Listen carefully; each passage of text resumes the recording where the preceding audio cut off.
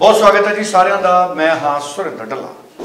ਤੁਸੀਂ ਵੇਖ ਰਹੇ ਹੋ ਬਹੁਤ ਹੀ ਖਾਸ ਪ੍ਰੋਗਰਾਮ ਜਸਮੀਤ ਸਿੰਘ ਭਾਟੀਆ ਜੀ ਮੇਰੇ ਨਾਲ ਮੌਜੂਦ ਨੇ ਔਰ ਕੋਸ਼ਿਸ਼ ਹੈ ਕਿ ਸਟੂਡੈਂਟਸ ਨੂੰ ਬਿਲਕੁਲ ਨਵੇਂ-ਨਵੇਂ ਅਪਡੇਟਸ ਹੈ ਜਿਹੜੇ ਉਹ ਦਿੱਤੇ ਜਾਣ ਸਟੱਡੀ ਵੀਜ਼ਾ ਨੂੰ ਲੈ ਕੇ ਔਰ ਸਟੱਡੀ ਵੀਜ਼ਾ ਨਾਲ ਜੁੜੇ ਵੱਖ-ਵੱਖ ਟੌਪਿਕਸ ਨੂੰ ਲੈ ਕੇ ਔਰ ਅੱਜ ਇੱਕ ਹੋਰ ਬੜੇ ਅਹਿਮ ਇਸ਼ੂ ਦੇ ਉੱਤੇ ਜਸਮੀਤ ਭਾਟੀਆ ਜੀ ਦੇ ਨਾਲ ਗੱਲ ਕਰਾਂਗੇ। ਸਤਿ ਸ਼੍ਰੀ ਅਕਾਲ। ਬਹੁਤ ਧੰਨਵਾਦ ਜਸਮੀਤ ਜੀ। ਇਸ਼ੂ ਇਹ ਹੈ ਕਿ ਦੁਬਾਰਾ ਕੈਨੇਡਾ ਤੋਂ ਏਆਈਪੀ ਆਇਆ ਕਰਨਗੇ, ਸਵਾਲ ਇਹ ਬਹੁਤ ਵੱਡਾ ਹੈ। ਕੱਲ ਵੀ ਕੈਨੇਡਾ ਵੱਲੋਂ ਇੱਕ ਬਹੁਤ ਹੀ ਵੱਡਾ ਅਪਡੇਟ ਆਇਆ ਹੈ। ਉਸ ਸਾਰੇ ਨੂੰ ਸਮਝਣ ਦੀ ਕੋਸ਼ਿਸ਼ ਕਰਦੇ ਹਾਂ। ਜਸਮੀਤ ਜੀ, ਸਭ ਤੋਂ ਪਹਿਲਾਂ ਤਾਂ ਮੈਂ ਇਹ ਚਾਹੂੰਗਾ, ਜਿਹੜਾ ਇਹ ਅਪਡੇਟ ਆਇਆ ਹੈ, ਇੱਕ ਵਾਰੀ ਫੇਰ ਸਮਝਾਓ ਸਾਰੇ ਸਟੂਡੈਂਟਸ ਲਈ ਇਹ ਅਪਡੇਟ ਨੂੰ ਕਿਵੇਂ ਸਮਝਿਆ ਜਾਵੇ, ਹੈ ਕੀ?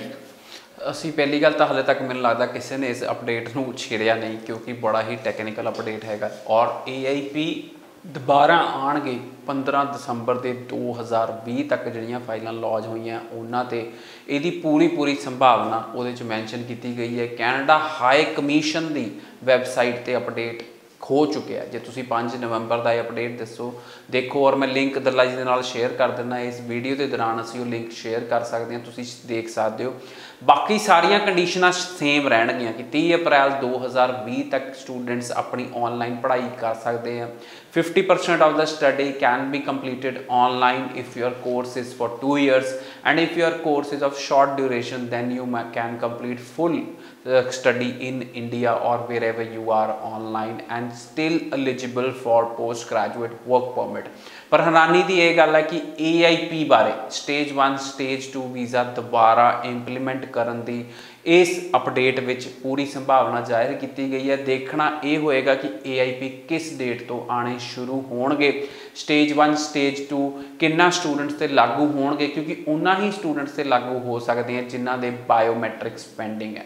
ਸੋ ਦੱਲਾ ਜੀ, ਬੜਾ ਹੀ ਜਿਹਨੂੰ ਕਹਿੰਦੇ ਆ ਕਿ ਅਸੀਂ, ਮੈਂ ਇਸ ਸੰਭਾਵਨਾ ਨੂੰ ਐਕਸਪੈਕਟ ਕਰਦਾ ਸੀ ਕਿ ਸਰਕਾਰ 15 ਨਵੰਬਰ ਨੂੰ ਜਾਂ ਐਂਡ ਆਫ ਨਵੰਬਰ 'ਚ ਇੰਪਲੀਮੈਂਟ ਕਰ ਦੇਗੀ।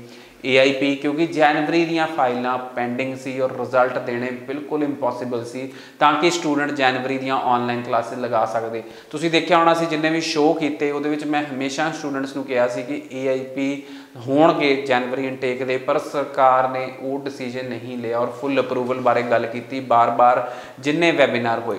ਬਟ ਇਹ ਅਪਡੇਟ ਜਿਹੜਾ 5 ਜਨਵਰੀ ਨੂੰ ਆਇਆ, ਬੜਾ ਹੀ ਹੈਰਾਨੀ ਵਾਲਾ ਹੈਗਾ ਕਿ ਹੁਣ ਇਹ ਅਪਡੇਟ ਕਿਉਂ ਦਿੱਤਾ ਗਿਆ? ਕਿਉਂਕਿ ਆਲਰੇਡੀ ਸਟੂਡੈਂਟਸ ਆਨਲਾਈਨ ਕਲਾਸਿਸ ਦੀ ਰਜਿਸਟਰ ਕਰ ਸਕੇ ਆ। ਕੀ ਕਾਲਜ ਆਪਣੀ ਰਜਿਸਟ੍ਰੇਸ਼ਨ ਡੇਟ ਐਕਸਟੈਂਡ ਕਰਨਗੇ? ਕੀ ਕਾਲਜ ਸਟੂਡੈਂਟਸ ਨੂੰ ਸਪੋਰਟ ਕਰਨਗੇ ਆਨਲਾਈਨ ਕਲਾਸਿਸ ਲਾਣ ਲਈ? ਕੀ ਕਾਲਜਸ AIP ਦੀ ਵੇਟ ਕਰਨਗੇ? ਇਹਦੇ ਬਾਰੇ ਹਲੇ ਅਪਡੇਟਸ ਆਉਣੇ ਬਾਕੀ ਆ ਬਿਲਕੁਲ ਠੀਕ ਹੈ। ਹਜੇ ਹੋਰ ਵੀ ਇਹਦੇ ਨਾਲ ਅਪਡੇਟਸ ਆਉਣੇ ਹਜੇ ਬਾਕੀ ਹੈ, ਪਰ ਜਿਹੜਾ ਇਹ ਨਵਾਂ ਅਪਡੇਟ ਹੈ, ਇਹਦੇ ਨਾਲ ਜਿਹੜੇ ਕਰੰਟ ਸਟੂਡੈਂਟਸ ਨੇ, ਬਹੁਤ ਸਾਰਿਆਂ ਦੇ ਰਿਜ਼ਲਟ ਪੈਂਡਿੰਗਸ ਨੇ, ਉਹਨਾਂ ਦੇ ਉੱਪਰ ਕਿਸ ਤਰ੍ਹਾਂ ਨਾਲ ਅਸਰ ਹੋ ਸਕਦਾ ਹੈ? ਸੀ ਬੇਸਿਕਲੀ ਤਾਂ ਇਹ ਅਪਡੇਟ ਇਹਨਾਂ ਨੂੰ, ਮੈਂ ਜਿਵੇਂ ਕਿ ਪਹਿਲਾਂ ਵੀ ਕਿਹਾ ਕਿ ਨਵੰਬਰ ਜਾਂ ਦਸੰਬਰ ਫਰਸਟ ਵੀਕ ਚ ਦੇਣਾ ਚਾਹੀਦਾ ਸੀ, ਤਾਂ ਕਿ ਜਿਹੜੇ ਸਟੂਡੈਂਟਸ ਜਨਵਰੀ ਚ ਹੁਣ ਜਿਨ੍ਹਾਂ ਨੇ ਆਪਣੇ ਅਪਲਾਈ ਕੀਤਾ ਹੋਇਆ, ਕਿਉਂਕਿ ਇੰਪੋਸੀਬਲ ਹੈਗਾ ਜਿਹੜੀਆਂ 25 30 ਹਜ਼ਾਰ ਫਾਈਲਾਂ ਜਨਵਰੀ ਇਨਟੇਕ ਦੀਆਂ ਲੱਗੀਆਂ, ਉਹਨਾਂ ਦੇ ਰਿਜ਼ਲਟਸ ਨਹੀਂ ਆ ਰਹੇ ਨੇ। ਸੋ ਇੰਪੋਸੀਬਲ ਹੈ ਉਹਨਾਂ ਫਾਈਲਾਂ ਨੂੰ ਪ੍ਰੋਸੈਸ ਕਰਨਾ ਜਨਵਰੀ ਇਨਟੇਕ ਲਈ। ਸੋ ਉਹਨਾਂ ਸਾਰਿਆਂ ਵਾਸਤੇ ਇਹ ਇੰਪਲੀਮੈਂਟ ਕੀਤਾ ਗਿਆ ਬਟ ਥੋੜਾ ਲੇਟ ਹੋ ਗਏ ਇੰਪਲੀਮੈਂਟ ਕਰਨ ਲਈ। ਕਿਉਂਕਿ ਇਹ ਜੇ ਦਸੰਬਰ 'ਚ ਇੰਪਲੀਮੈਂਟ ਹੁੰਦਾ ਤਾਂ ਜਿਹੜੇ ਜਨਵਰੀ ਇਨਟੇਕ ਵਾਲੇ ਸਟੂਡੈਂਟ ਸੀ, ਉਹ ਆਨਲਾਈਨ ਕਲਾਸਾਂ ਲਗਾ ਸਕਦੇ, ਬਿਲਕੁਲ ਟੈਨਸ਼ਨ ਫ੍ਰੀ ਉਹਨਾਂ ਨੂੰ AIP ਦੇ ਦਿੱਤੇ ਜਾਂਦੇ ਔਰ ਆਪਣੀਆਂ ਆਨਲਾਈਨ ਕਲਾਸਾਂ ਲਗਾ ਸਕਦੇ ਸੀ। ਪਰ ਹੁਣ ਇਹ ਰਿਜ਼ਲਟ ਆਇਆ 5 ਜਨਵਰੀ ਨੂੰ ਔਰ ਇਹ ਅਪਡੇਟ ਕੀਤਾ ਗਿਆ 5 ਜਨਵਰੀ ਨੂੰ। ਦੇਖਣਾ ਇਹ ਹੈ ਕਿ ਹੁਣ ਕਾਲਜਸ ਇਸ ਅਪਡੇਟ ਤੋਂ ਬਾਅਦ ਆਪਣੀ ਰਜਿਸਟ੍ਰੇਸ਼ਨ ਡੇਟਸ ਚੇਂਜ ਕਰ ਕਰਦੇ ਆ। ਜਿਹੜੇ ਜਨਵਰੀ ਵਾਲੇ ਸਟੂਡੈਂਟਸ ਹੈ, ਉਹ ਆਨਲਾਈਨ ਕਲਾਸਾਂ ਲਗਾਉਂਦੇ ਆ। ਸੋ ਇਹ ਸਾਰੀਆਂ ਚੀਜ਼ਾਂ ਲਈ ਇਹ ਅਪਡੇਟ ਕੀਤਾ ਗਿਆ ਸੋ AIP ਆਉਣੇ ਕਦੋਂ ਸ਼ੁਰੂ ਹੋਣਗੇ, ਇਹ ਹੱਲੇ ਕੁਝ ਨਹੀਂ ਪਤਾ। ਮੈਨੂੰ ਉਮੀਦ ਹੈ ਕਿ ਇਮੀਡੀਏਟਲੀ AIP ਆਉਣੇ ਸ਼ੁਰੂ ਹੋ ਜਾਣਗੇ, ਜੇ ਸਟੇਜ 1 ਔਰ ਸਟੇਜ 2 ਇੰਪਲੀਮੈਂਟ ਕਰ ਦਿੱਤੀ ਗਈ ਹੈ ਦੁਬਾਰਾ ਤੋਂ। ਬਿਲਕੁਲ ਜੀ। ਸੋ ਸਭ ਤੋਂ ਜ਼ਿਆਦਾ ਸੁਚੇਤ ਹੋਣ ਦੀ ਜ਼ਰੂਰਤ ਹੈ ਜਿਹੜੀ ਉਹ ਸਟੂਡੈਂਟਸ ਨੂੰ ਹੈ। ਜਸਮੀਤ ਜੀ ਇਹਨਾਂ ਚੀਜ਼ਾਂ ਦਾ ਸਕਸੈਸ ਰੇਟ ਨਾਲ ਕੋਈ ਫ਼ਰਕ ਤਾਂ ਨਹੀਂ ਪਏਗਾ? ਜਾਂ ਸਟੂਡੈਂਟਸ ਨੂੰ ਇਹ ਲੱਗੇ ਕਿ ਉਹਨਾਂ ਨੂੰ ਦੁਬਾਰਾ ਡੈਫਰ ਕਰਨ ਦੀ ਨੌਬਤ ਆ ਜੇ, ਜਿਹੜੇ ਸੋਚ ਰਹੇ ਨੇ ਵੀ ਹੁਣ ਅਸੀਂ ਕੀ ਕਰੀਏ।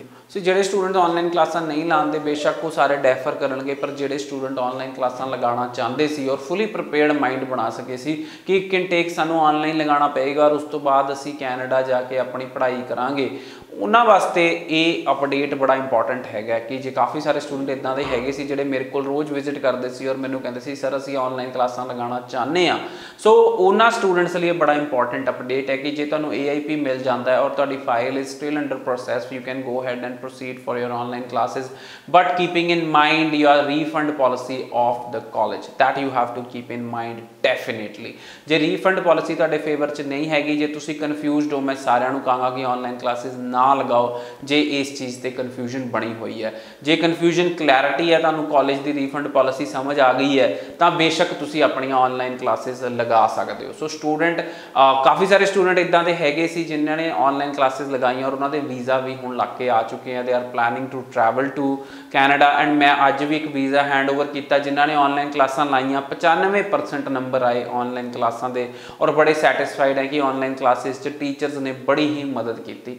ਸੋ ਇਹ ਅਪਡੇਟ ਨਾਲ ਮੈਨੂੰ ਲੱਗਦਾ ਹੈ ਕਿ ਬਹੁਤ ਸਾਰੇ ਸਟੂਡੈਂਟਸ ਜਿਹੜੇ ਆਨਲਾਈਨ ਕਲਾਸਾਂ ਲਾਣਾ ਚਾਹੁੰਦੇ ਸੀ ਜਾਂ ਜਿਨ੍ਹਾਂ ਨੇ ਜਨਵਰੀ ਇਨਟੇਕ ਲਈ ਅਪਲਾਈ ਕੀਤਾ ਹੋਇਆ ਉਹਨਾਂ ਲਈ ਜ਼ਰੂਰ ਇਹ ਅਪਡੇਟ ਫਾਇਦੇਮੰਦ ਹੈ। ਬਿਲਕੁਲ। ਸੋ ਕਈ ਸਟੂਡੈਂਟਸ ਨੇ ਜਿਹੜੇ ਉਹਨਾਂ ਨੂੰ ਬੈਨੀਫਿਟ ਵੀ ਇਹਨਾਂ ਅਪਡੇਟਸ ਦੇ ਨਾਲ ਹੋਏਗਾ। So thank you so much Jasmeet ji. So ਸਾਰੇ ਸਟੂਡੈਂਟ ਬਹੁਤ ਧਿਆਨ ਦੇ ਨਾਲ ਇਹ ਸਾਰੀਆਂ ਗੱਲਾਂ ਨੂੰ ਸੁਣਨ। ਕੋਈ ਕਨਫਿਊਜ਼ਨ ਹੈ, ਤੇ 90413 90412 ਤੇ ਕਾਲ ਕਰ ਸਕਦੇ ਨੇ ਜਸਮੀਤ ਪਾਟਿਆ ਜੀ ਨੂੰ। info@landmarkimmigration.com ਤੇ ਮੇਲ ਕਰ ਸਕਦੇ ਨੇ। ਸੋ ਕਿਸੇ ਵੀ ਕਨਫਿਊਜ਼ਨ ਜਾਂ ਕਲੈਰੀਫਿਕੇਸ਼ਨ ਲਈ ਤੁਸੀਂ ਜਸਮੀਤ ਜੀ ਦੇ ਨਾਲ ਸੰਪਰਕ ਜ਼ਰੂਰ ਕਰੋ। ਥੈਂਕ ਯੂ ਸੋ ਮਚ ਧੰਨਵਾਦ।